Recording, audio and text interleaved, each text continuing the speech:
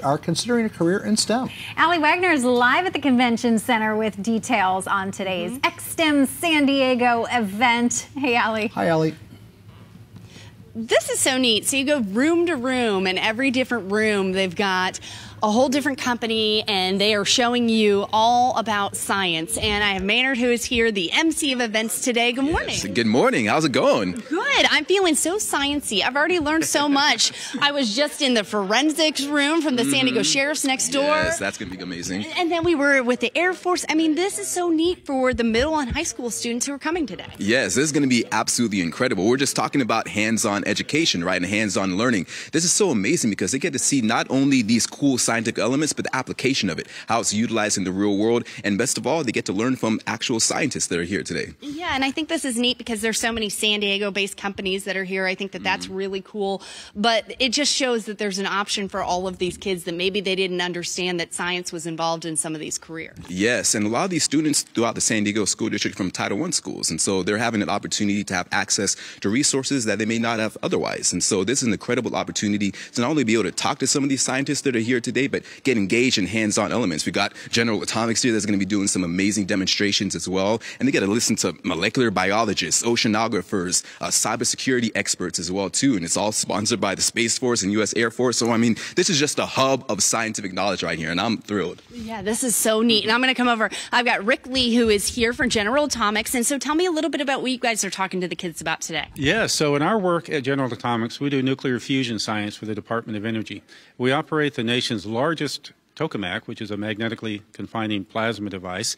And with that, we have a lot of electromagnetic coils. So the concept of making an electromagnetic coil, that is wrapping a wire around some uh, metal, is a very fundamental thing that we want to do. So today we will be making coils. The kids will be making simple solenoidal coils for themselves, uh, and they'll be able to take them home. So that's kind of cool. So you're kind of making it as simple as you possibly can, but then you've got Alex over here. What's he, what's he? Yeah. He's got it on a so, grander scale. So Alex has got some other uh, coils that we've made before, and these are kind of fun coils. This is a wrap, uh, about a foot diameter wrapped coil, and it'll actually levitate. Wow. So one can bring in the concepts in physics and engineering and, and it'll pick up everything else too, right, Alex? It will, if you're not careful. Right? So these are these are part of a uh, teacher workshop that we had teachers make these some time ago, and uh, and they're fun and they're surprising for the kids because they see levitation, and and what one can might be able to do with that. That's cool. Look at you. Look, hopping coil. See? It's a dancing coil. Yes, yeah. Now, and I think this is fun because you're getting to talk to students and give them an idea of how they can apply the science that they learned today. That's right. Uh, this kind of fundamental physics and engineering is found everywhere in motors, in well, even in a little noisy cat device that Alex calls it there. Wow.